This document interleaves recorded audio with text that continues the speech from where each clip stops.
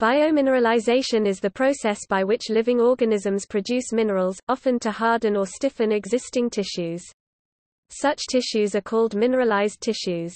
It is an extremely widespread phenomenon. All six taxonomic kingdoms contain members that are able to form minerals, and over 60 different minerals have been identified in organisms. Examples include silicates in algae and diatoms, carbonates in invertebrates, and calcium phosphates and carbonates in vertebrates. These minerals often form structural features such as seashells and the bone in mammals and birds. Organisms have been producing mineralized skeletons for the past 550 million years. Other examples include copper, iron and gold deposits involving bacteria. Biologically formed minerals often have special uses such as magnetic sensors in magnetotactic bacteria, gravity sensing devices calcium carbonate, calcium sulfate, barium sulfate and iron storage and mobilization iron 3 oxide H2O in the protein ferritin. In terms of taxonomic distribution, the most common biominerals are the phosphate and carbonate salts of calcium that are used in conjunction with organic polymers such as collagen and chitin to give structural support to bones and shells. The structures of these biocomposite materials are highly controlled from the nanometer to the macroscopic level, resulting in complex architectures that provide multifunctional properties. Because this range of control over mineral growth is desirable for materials engineering applications, there is significant interest in understanding and elucidating the mechanisms of biologically controlled biomineralization.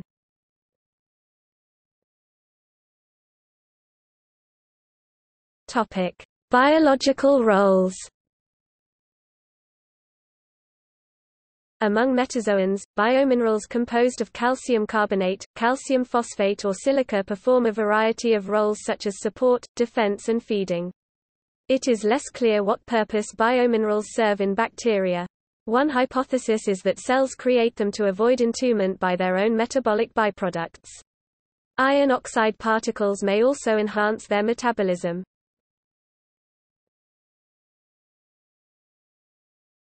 Topic: Biology If present on a supercellular scale, biominerals are usually deposited by a dedicated organ, which is often defined very early in the embryological development. This organ will contain an organic matrix that facilitates and directs the deposition of crystals. The matrix may be collagen, as in deuterostomes, or based on chitin or other polysaccharides, as in mollusks.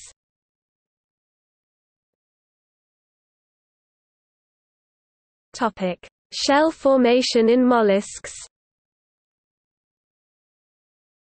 The mollusk shell is a biogenic composite material that has been the subject of much interest in materials science because of its unusual properties and its model character for biomineralization.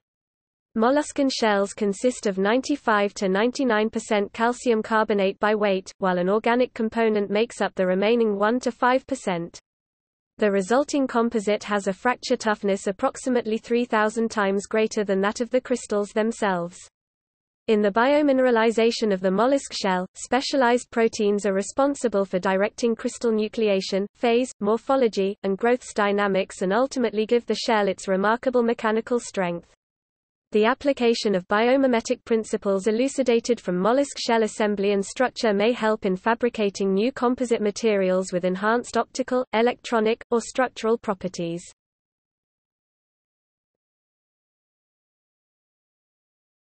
Topic: Mineral production and degradation in fungi. Fungi are a diverse group of organisms that belong to the eukaryotic domain.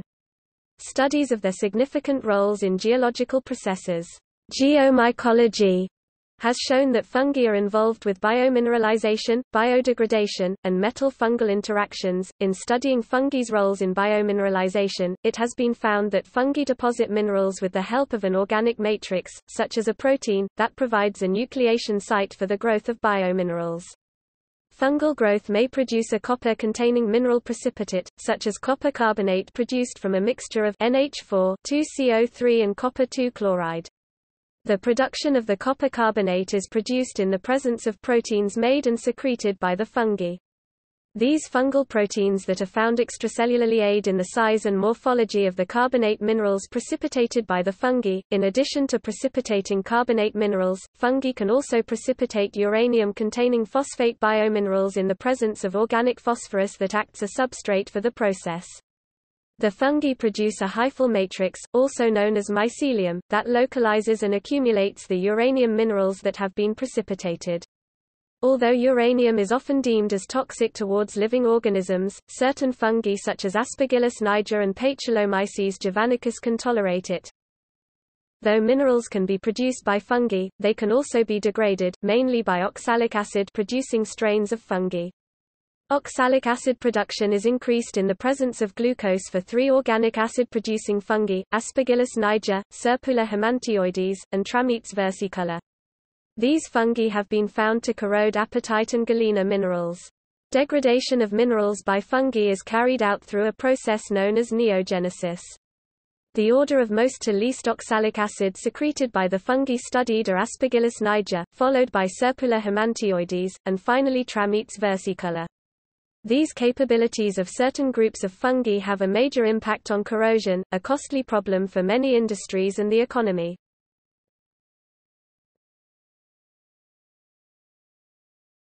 Topic: Chemistry. Because extracellular iron is strongly involved in inducing calcification, its control is essential in developing shells. The protein ferritin plays an important role in controlling the distribution of iron. The most common mineral present in biomineralization is hydroxyapatite which is a naturally occurring mineral form of calcium apatite with the formula calcium phosphate O2. Hydroxyapatite crystals are found in many biological materials including bones, fish scales, and cartilage. Each material has a mineral content which corresponds with the required mechanical properties, where increasing Ha content typically leads to increased stiffness but reduced extensibility.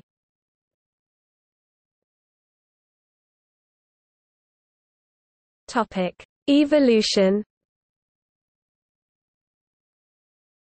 The first evidence of biomineralization dates to some 750 million years ago, and sponge-grade organisms may have formed calcite skeletons 630 million years ago.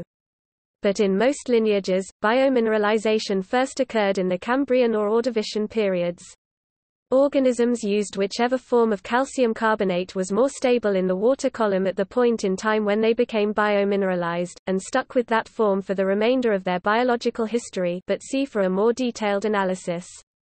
The stability is dependent on the Ca per megagram ratio of seawater, which is thought to be controlled primarily by the rate of seafloor spreading, although atmospheric CO2 levels may also play a role. Biomineralization evolved multiple times, independently, and most animal lineages first expressed biomineralized components in the Cambrian period. Many of the same processes are used in unrelated lineages, which suggests that biomineralization machinery was assembled from pre-existing off-the-shelf components already used for other purposes in the organism. Although the biomachinery facilitating biomineralization is complex, involving signaling transmitters, inhibitors, and transcription factors, many elements of this toolkit are shared between phyla as diverse as corals, mollusks, and vertebrates. The shared components tend to perform quite fundamental tasks, such as designating that cells will be used to create the minerals, whereas genes controlling more finely tuned aspects that occur later in the biomineralization process, such as the precise alignment and structure of the crystals produced, tend to be uniquely evolved in different lineages. This suggests that Precambrian organisms were employing the same elements, albeit for a different purpose, perhaps to avoid the inadvertent precipitation of calcium carbonate from the supersaturated Proterozoic oceans. Forms of mucus that are involved in inducing mineralization in most metazoan lineages appear to have performed such an anti-calcifatory function in the ancestral state. Further, certain proteins that would originally have been involved in maintaining calcium concentrations within cells are homologous to all metazoans, and appear to have been co-opted into biomineralization after the divergence of the metazoan lineages. The galaxins are one probable example of a gene being co-opted from a different ancestral purpose into controlling biomineralization, in this case being switched to this purpose in the Triassic scleractinian corals. The role performed appears to be functionally identical to the unrelated perlucin gene in mollusks. Carbonic anhydrase serves a role in mineralization in sponges, as well as metazoans, implying an ancestral role. Far from being a rare trait that evolved a few times and remained stagnant, biomineralization pathways in fact evolved many times and are still evolving rapidly today. Even within a single genus, it is possible to detect great variation within a single gene family. The homology of biomineralization pathways is underlined by a remarkable experiment whereby the nacreous layer of a molluscan shell was implanted into a human tooth, and rather than experiencing an immune response, the molluscan nacre was incorporated into the host bone matrix. This points to the exaptation of an original biomineralization pathway. The most ancient example of biomineralization, dating back 2 billion years, is the deposition of magnetite, which is observed in some bacteria, as well as the teeth of chitons and the brains of vertebrates. It is possible that this pathway, which performed a magnetosensory role in the common ancestor of all bilaterians, was duplicated and modified in the Cambrian to form the basis for calcium-based biomineralization pathways. Iron is stored in close proximity to magnetite-coated chiton teeth, so that the teeth can be renewed as they wear. Not only is there a marked similarity between the magnetite deposition process and enamel deposition in vertebrates but some vertebrates even have comparable iron storage facilities near their teeth.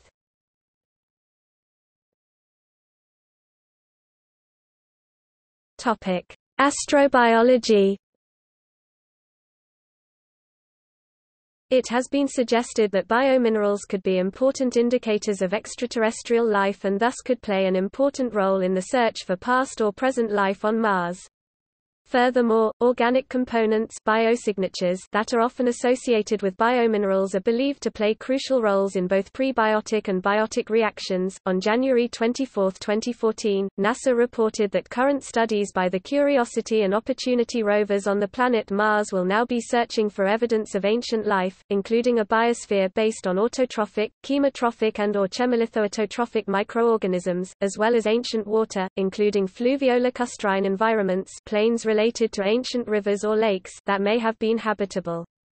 The search for evidence of habitability, taphonomy related to fossils, and organic carbon on the planet Mars is now a primary NASA objective.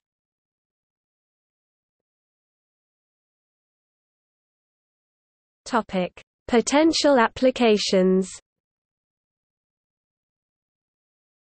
Most traditional approaches to synthesis of nanoscale materials are energy inefficient, requiring stringent conditions e.g., high temperature, pressure or pH and often produce toxic byproducts. Furthermore, the quantities produced are small, and the resultant material is usually irreproducible because of the difficulties in controlling agglomeration.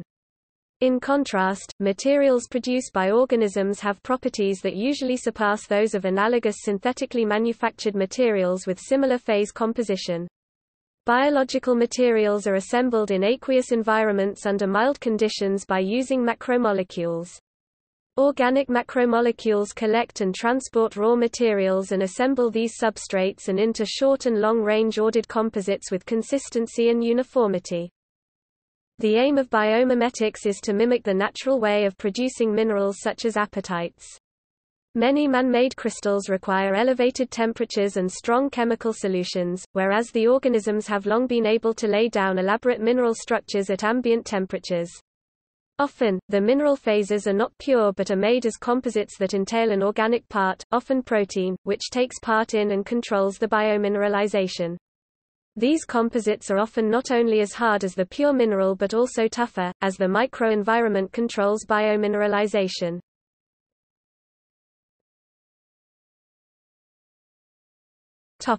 Uranium contaminants in groundwater.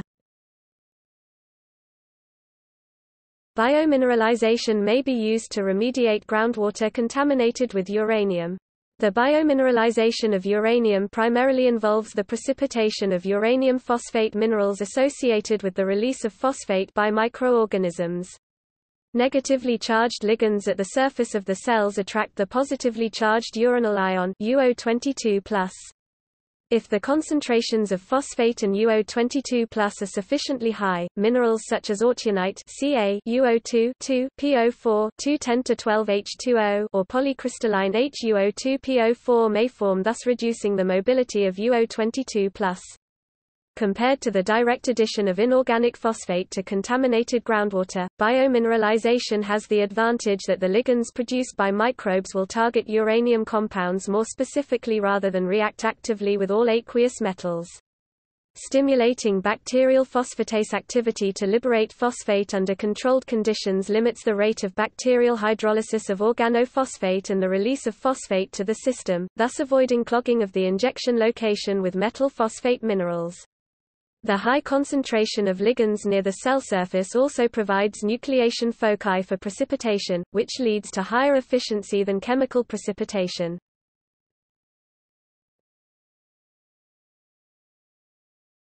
Topic: List of minerals. Examples of biogenic minerals include apatite in bones and teeth. Aragonite, calcite, fluorite in vestibular systems part of the inner ear of vertebrates. Aragonite and calcite in travertine and biogenic silica siliceous sinter, opal deposited through algal action. Hydroxylapatite formed by mitochondria.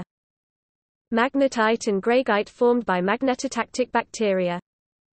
Pyrite and marcasite in sedimentary rocks deposited by sulfate-reducing bacteria. Quartz and diamonds formed from bacterial action on fossil fuels gas, oil, coal. Goethite found as filaments in limpet teeth. See also